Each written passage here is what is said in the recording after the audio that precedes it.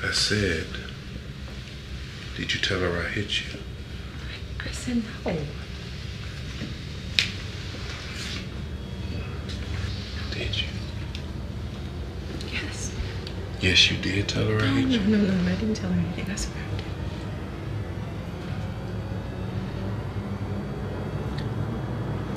did. Good.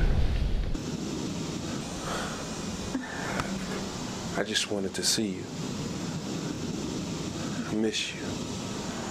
I miss you so much. If I did anything,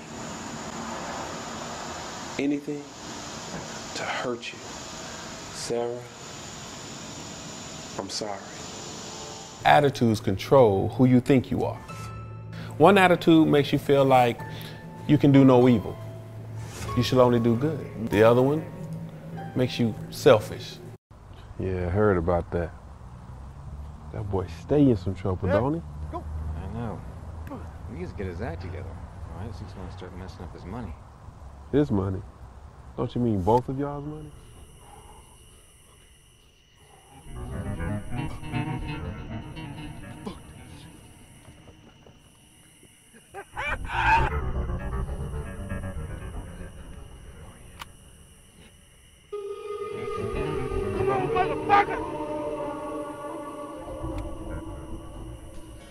If by that you mean a man like me and a beautiful woman like you, rubbing your feet at the end of a long, hard day, opening all your doors, protecting you, taking care of you, cooking your dinner too.